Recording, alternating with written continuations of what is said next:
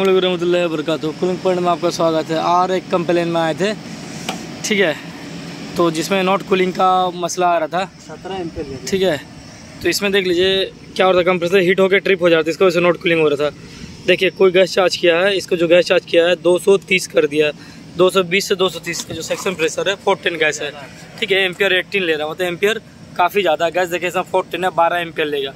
यहाँ सब कुछ लिखा, बारह एम्पियर लेगा सत्रह हो रहा है कंप्रेसर गर्म होकर बंद हो जा रहा था। अभी हम लोग क्या करेंगे? अभी हम लोग गैस को थोड़ा रिलीज़ कर देते हैं तो प्रॉब्लम सॉल्व हो जाएगा।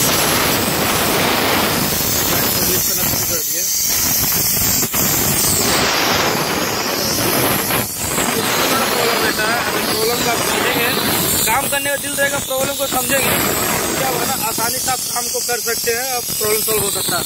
काम करने का दिल नहीं, उसके बाद आप जितना भी दाया बाया करे टाइम पास कर ले प्रॉब्लम सॉल्व नहीं होगा। हम लोग आए, नीचे देखे, नीचे देखने के बाद देख रहे कंप्रेसर ऑन दे रहा है। डिमांड यहाँ पे आ रहा है कंप्रेसर भी चल रहा है फाइन मोटर भी चल रहा है। तो भाई प्रॉब्लम क्या है? प्रॉब्लम है इसका गैस जो है गैस काफ़ी ज़्यादा है। ठीक है गैस को हम रिमूव कर देंगे 130 तक लेके आ जाएँगे 120 से 130 तो इंशाल्लाह नॉर्मल हो जाएगा, सब कुछ काम करना शुरू कर देगा। सभी गैस रिमूव कर रहे हैं। छोटा छोटा प्रॉब्लम था चेक करने नॉट कूलिंग का चेक करेंगे, कैसा भी हम वो बता देते हैं। नॉट कूलिंग में मतलब हम लोग को देखना है कंप्रेसर चल रहा है कि नहीं? नॉट कूलिंग का मतलब है कंप्रेसर नहीं चल रहा है। ठीक है? तो उसको हम कैसे चेक करेंगे? ओवर गैस चार्ज को चेक करेंगे तो सबसे पहले देखेंगे कंप्रेसर हमारा ऑन हो रहा कि नहीं है। अगर कंप्रेसर ऑन नहीं हो रहा तो चेक करेंगे इंडोर पीसीबी से सप्लाई आ रहा कि नहीं है। इंडोर पीसीबी से सप्लाई आ रहा है, यहाँ पर भी सप्लाई उसके बाद आगे चेक करेंगे। कॉन्ट्रेक्टर का कोयल ठीक है कि नहीं?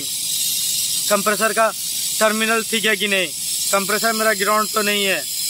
कम फाइन मोटर के मसला से क्या होगा कंप्रेसर हीट होकर बंद हो सकता है तो फाइन मोटर को भी चेक करेंगे स्टेप बाय स्टेप सब चेक करेंगे तो आपको आराम से प्रॉब्लम मिल जाएगा। जैसे कि हम लोग स्टेप बाय स्टेप इसको चेक किए, मालूम चला कि हम लोग फ़ोन आउट कूलिंग का मसला था, हम लोग क्या किए, सबसे पहले आ गए हम लोग आउटडोर पे। आउटडोर पे आने के बाद हम लोग चेक किए कि अरे, यहाँ तक कंप्रेसर का आउटडोर चल रहा है फाइन मोटर देखिए कंप्रेसर बहुत ज़्यादा गर्म है।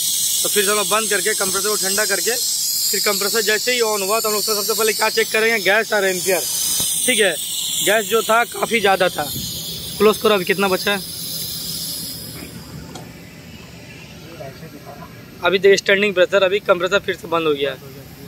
ठीक है तो अभी थोड़ा देर में चालू हो जाएगा। चालू होने के बाद इसको लोग चेक करेंगे कितना प्रेशर बच रहा है। उसके बाद हम लोग एक सौ तीस में उसको छोड़ देंगे तो इंशाल्लाह नॉर्मल रन करना शुरू कर देगा।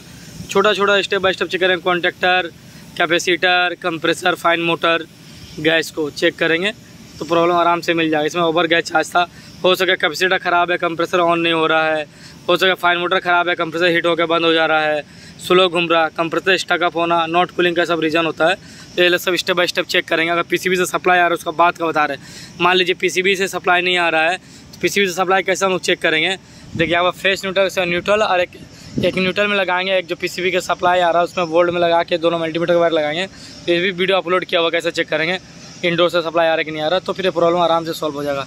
तो इनशाला उम्मीद है कि वीडियो आपको अच्छा लगा अच्छा लगा तो लाइक कर सब्सक्राइब कर रहे चैनल को फिर इंशाल्लाह एक नया टॉपिक नए वीडियो के साथ मिलेंगे। छोटा छोटा इन्फॉर्मेटिव वीडियो बनाने की कोशिश कर रहे हैं।